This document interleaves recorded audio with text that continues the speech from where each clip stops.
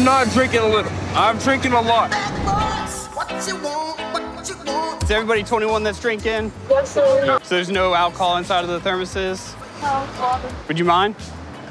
It's actually water. it looks like you guys already beat me on this one. This loon's got, looks like some twine wrapped up around it.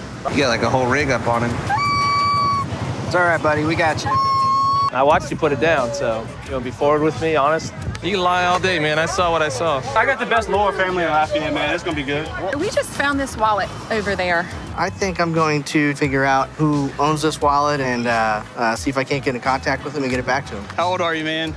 He's 21, but that's his bag. That's his bag over there. You guys are being cool so far. So you have two options, either county jail or citation. It's a hard choice, isn't it?